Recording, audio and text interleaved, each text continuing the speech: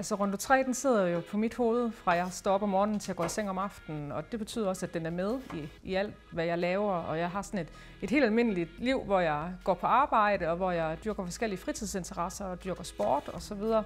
Jeg oplever, at Rondo 3 er, øh, er lettere, altså mindre tung end den første Rondo. Den føles, øh, altså jeg mærker ikke, at jeg har den på. Det faktum, at Rondo 3 den øh, ikke bruger engangsbatterier, er jo altså, mega fedt, synes jeg. Jeg kan benytte Rondo 3 i, i minimum 18-19 timer. Øh, og i praksis betyder det jo, at jeg kan benytte Rondo 3 hele dagen og øh, et godt stykke ind i natten, hvis jeg skulle have lyst til at være så længe op. Jeg benytter øh, appen AudioKey, og den benytter jeg hver eneste dag til at skifte program på, når jeg har behov for det, og til at skrue op og ned, og også til at tjekke, øh, hvor meget batteritid der er tilbage. Og så bruger jeg Audio Link, øh, blandt andet når jeg lytter til musik fra min telefon.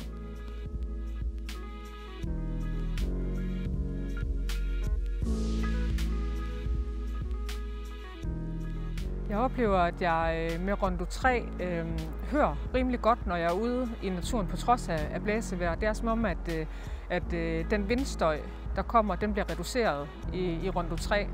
Og det er, der, der er en stor forskel i forhold til min tidligere processer og til den her. En af de første dage, lige kort tid efter jeg havde fået den, der skulle jeg ud og, og løbe en tur.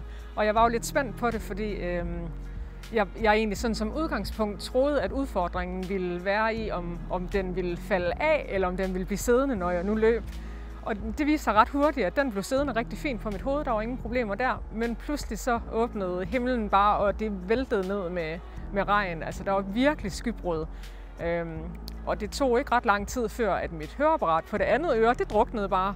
Men, øh, men øh, min runde 3, den fortsatte med at køre, og, og jeg var faktisk altså, jeg var nået et godt stykke hjemmefra, så det tog en halv time tid inden jeg var hjemme igen, hvor det bare styrtregnede. Og den klarede det helt fint. Ingen problemer.